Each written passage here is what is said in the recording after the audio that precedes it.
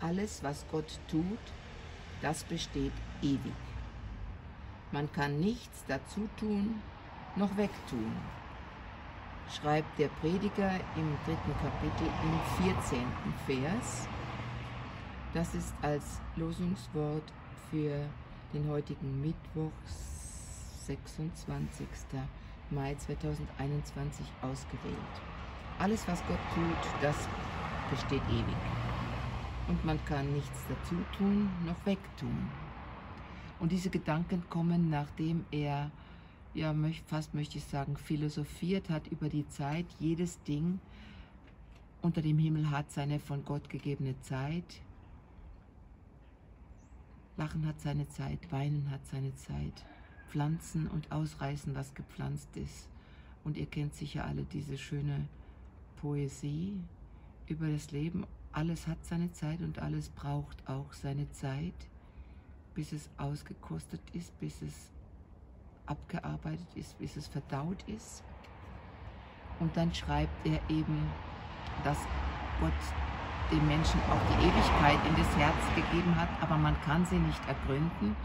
Und der Vers vorne dran, ähm, den zitiere ich als auch noch gerne bei Verabschiedungen und Beerdigungen, wo eben alles seine Zeit auch gehabt hat.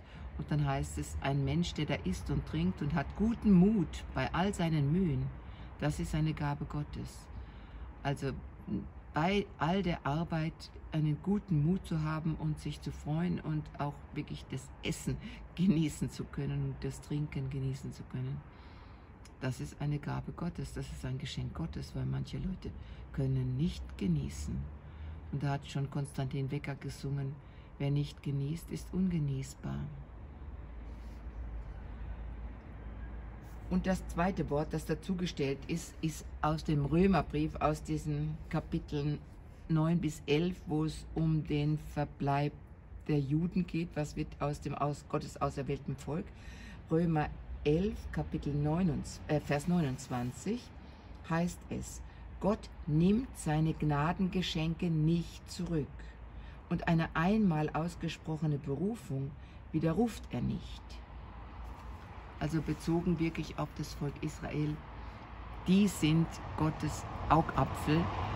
Und auch wenn sie jetzt ein bisschen im Abseits stehen, weil die meisten noch nicht erkannt haben, so schreibt Paulus, dass Jesus der Messias war, der lange angekündigt war und den Gott dem Volk und der Welt geschickt hat.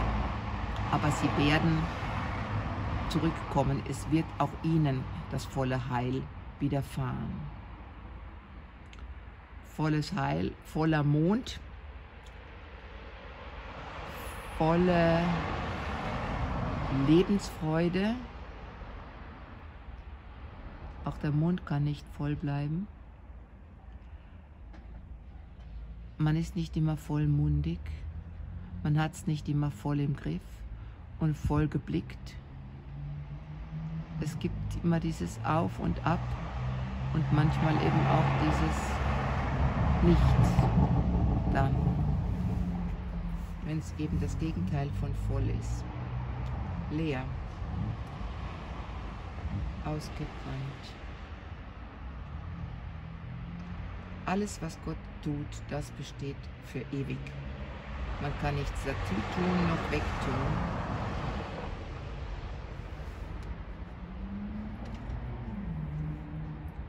Und Gott nimmt seine Gnadengeschenke nicht zurück. Eine einmal ausgesprochene Berufung widerruft er nicht. Ihr Lieben, ich glaube, es ist auch Zeit zu denken an die, denen es nicht gut geht, die nicht in Fülle das Leben genießen können, sondern die abgefangen werden aus einem Flugzeug, die inhaftiert werden, die sicherlich auch gefoltert werden, die vor die Kamera gesetzt werden und dann irgendwelche Bekenntnisse sagen. Und man kann sich schon vorstellen, dass vis-à-vis -vis neben dem Kameramann ein Herr mit Kalaschnikow steht und wenn man das Falsche sagt, dann ist das Video sowieso wertlos und wird nicht gesendet.